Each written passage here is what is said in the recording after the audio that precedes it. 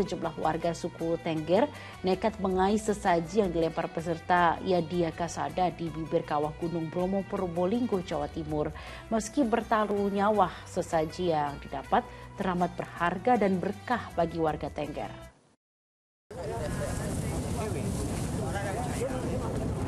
Di bibir kawah Gunung Bromo Probolinggo, Jawa Timur ini warga masih menjalankan ritual larung sesaji umat Hindu Tengger. Sebagai puncak kegiatan ritual liatnya Kasada tahun Saka 1944. Sesaji dibuang di kawah Gunung Bromo sebagai wujud rasa syukur kepada Sang Yang Widi. Ironisnya sejumlah warga suku Tengger lain berada di lereng kawah sisi dalam yang berbahaya. Mereka berebut mengais sejumlah sesaji yang dilempar dan tersangkut di tanah. Bahkan agar dapatkan hasil yang maksimal, tak sedikit warga yang gunakan sarung dan jaring yang diikat pada tongkat kayu. Meski mengancam nyawa, para pengais berharap bisa mendapatkan sesaji, bahan pangan, dan sandang atau bahkan hewan ternak untuk keselamatan. Ya. Ibu, ini nanti hasilnya uh, diapakan apa dijual atau bagaimana Ibu? Enggak, dipelihara. Dipelihara ya Bu ya. Ini tadi dapat apa aja Ibu?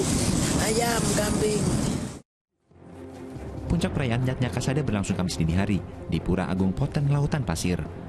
Selain umat Hindu suku Tengger, Yatnya Kasada juga dihadiri umat Hindu Bali dan beberapa daerah lain. Euforia ininya eh, masyarakat untuk menyukseskan uh, Kasada ini uh, luar biasa. Jadi uh, sabar dengan dingin. Tadi udah hujan rintik-rintik juga masih masih tetap apa mengikuti prosesi ini. Kiatnya Kasada tahun ini juga disertai dengan ritual pengangkatan dua dukun pandita baru dari Kecamatan Poncokusumo Malang dan Sukapura Probolinggo. Dan di Ari Gafur melaporkan dari Probolinggo, Jawa Timur. Ya, Indonesia sendiri memang terkenal dengan beragam adat dan budaya. Sebagai insan manusia, kita harus menghargai peninggalan tradisi leluhur, namun tidak boleh melampaui batas dan harus selalu mengutamakan sang pencipta dalam kehidupan. Nah Ustaz ini kan bila melihat berita tadi nih warga setempat ini masih mempertahankan adat dan tradisi daerah setempat. Namun yang disayangkan ini masih banyak yang mencari berkah tapi tidak mengutamakan keselamatan. Bagaimana nih pendapat Ustaz? Ya Mbak Sheila, al-barokatu kata para ulama artinya ada dua hal. Yang pertama adalah kemaslahatan, yang kedua adalah kemanfaatan. Maka sesuatu dikatakan berkah kalau bermaslahat dan bermanfaat. Segala sesuatu kalau nilainya tidak ada manfaat, apalagi cenderung mengabaikan maslahat, maka itu keluar dari makna al-barokah.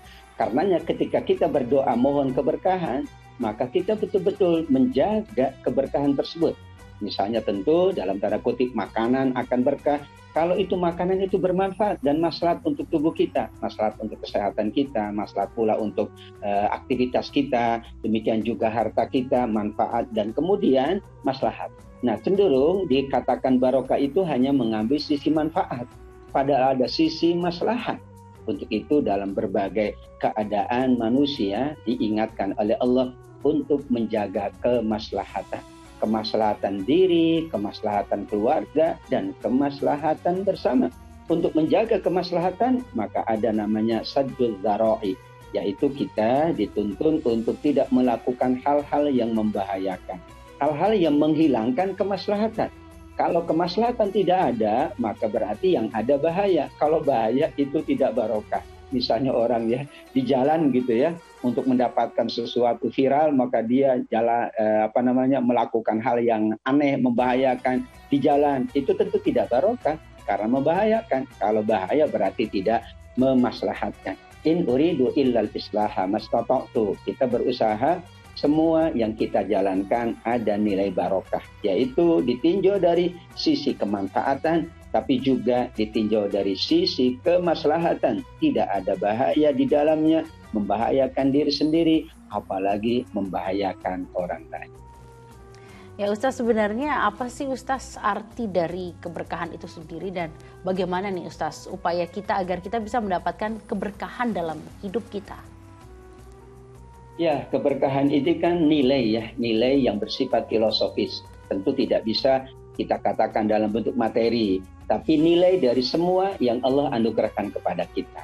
Harta dalam jumlah yang banyak berkah, harta dalam jumlah yang sedikit berkah, yaitu manakala pada harta itu ada nilai kebaikan, ada nilai manfaat dan kemaslahatan, Ditambah yang ketiga, dia akan menjadi berkah kalau digunakan untuk kebaikan. Kita mendapatkannya dari sesuatu yang baik, yang bermanfaat, dan kemudian kita gunakan untuk sesuatu yang baik dan memberikan maslahat serta manfaat. Maka berarti di situ ada nilai berkah. Rumah kita tentu kita jadikan rumah yang penuh berkah. Kita isi rumah itu dengan mengaji, isi rumah dengan kebaikan-kebaikan, bercengkrama di antara ahli keluarga, tidak ada dalam tanda kutip ya perseteruan-perseteruan. Karena kalau ada perseteruan itu berkurang nilai berkahnya.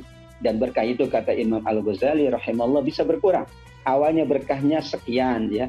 Karena ada sesuatu yang e, dilanggar maka keberkahannya menyusut dan menyusut.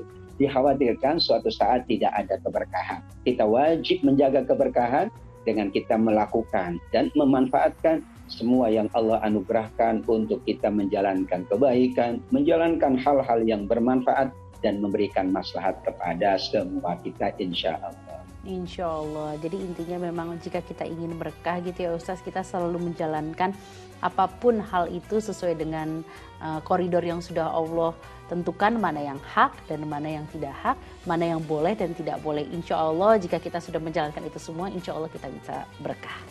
Amin. Kita ke informasi